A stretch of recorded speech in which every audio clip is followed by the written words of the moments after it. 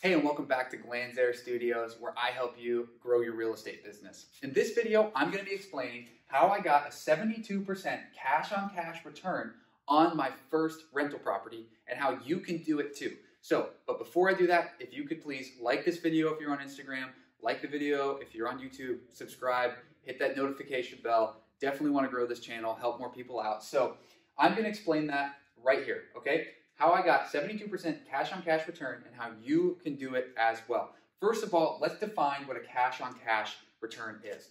Cash on cash is how much money you had to bring total down on the property, okay? And then how much return you got in rent, okay? So for example, how much money did you have to bring down to buy the property? So if you had to put 10% down on a $100,000 home, you had to bring $10,000.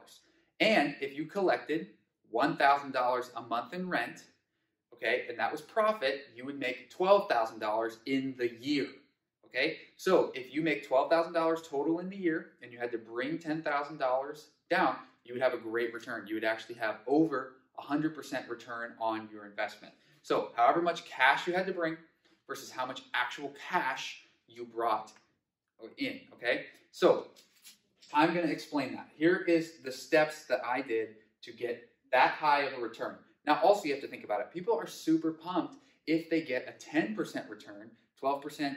You're ecstatic if you get a 20% return on your investment in the stock market and most rentals. But you can do this, okay, on your first property very easily. Here is what you need to do, right? The first thing is you want to do an FHA loan, okay? FHA. I've been talking about this in my other videos, but that is when you only need to put 3.5% down to buy the property. So if it's a $100,000 property, you only need to bring $3,500 to purchase it, okay? So I was able to get an FHA loan, and I'm gonna do the numbers here in a second. The second thing is, I was able to get seller's assist, okay? Seller's assist. What is that? That is whenever the seller brings money to the buyer at closing, okay? So I was able to get seller's assist. The third thing is, I didn't just buy a normal property with my FHA loan, I bought a triplex, okay? So I bought a triplex, so that means three incomes, okay? I was able to get three incomes because I had three different units that I was renting out, okay? So I was able to do this on a triplex, and then um, the last thing I was able to do was I was able to save my money, okay? Save my money from that. So let's jump into the numbers about how this worked and how you can do this as well. Okay, so we're going to run over here and we're going to do um, purchase numbers here, and then we're going to do rental numbers here. Okay, we're going to go over how much I had to bring down and how much income I brought. Okay, so I bought the house for $315,000. That sounds like a huge number, but remember, we're doing an FHA loan. That's only 3.5%, right? So how much money did I have to bring down? That's $11,025, okay? Now, I only had to bring that much money down to buy the house. Here's the thing.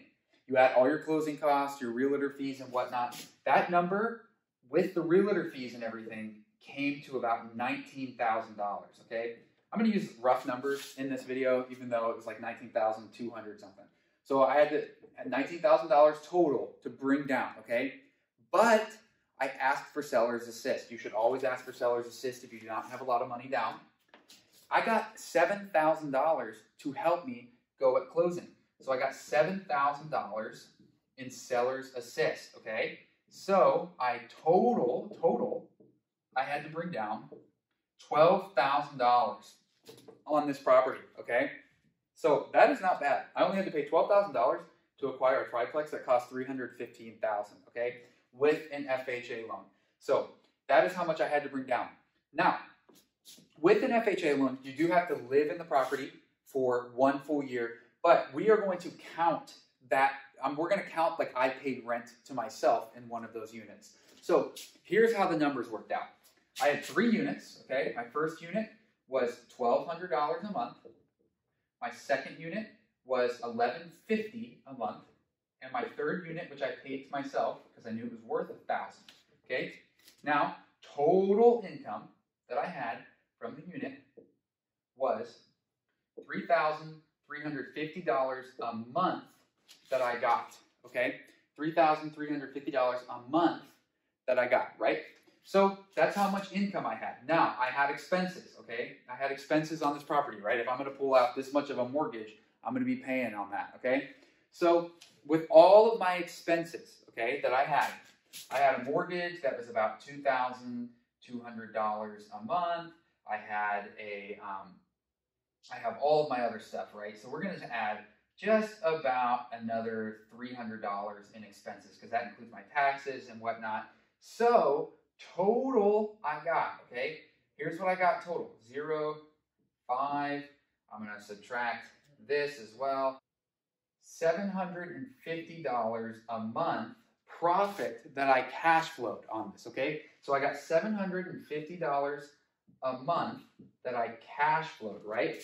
So what, what are we gonna do with that? We are gonna multiply 750 times 12, okay? Because this is gonna give me my total profit that I made on the property, okay? So what we're gonna do here is we're gonna multiply that. We're gonna do zero. I made just about $9,000 in total profit on the property, okay? So I made $9,000 in total profit, right? So then, how do I figure that out? I'm gonna figure out my return. So I got a $9,000 return. I used $12,000 total. So I'm going to divide 9,000 by 12, okay? So we're going to do 9,000 divided by 12 here, which I'm going to do here, and I can do that old school. And 9,000 divided by 12,000, okay? So I'm going to divide that, my total income, minus how much money, divided by how much money I had to bring down, and that right there, that number gives me 75, oh, I wrote a dollar sign. I don't want to write a dollar sign. Gives me 75% cash on cash return. Now, like I said, I these numbers are a little bit different because I just read round numbers for my math, but it was a 72% return on my investment, okay? And that is an amazing investment because I was almost able to recoup all of the money that I spent in the first year on my property. So Right there, 75% return on my investment. You can do it as well by getting an FHA loan, having seller's assist to get that total income down that you have to, you know, put on the property, buy something that has multiple streams of incomes, and then you can save your money really quickly because I had to put $12,000 down. I got $9,000 of it back in 12 months. You're able to save your money much quicker. So hopefully this video was helpful. Please let me know if you have any questions. We'll check you later.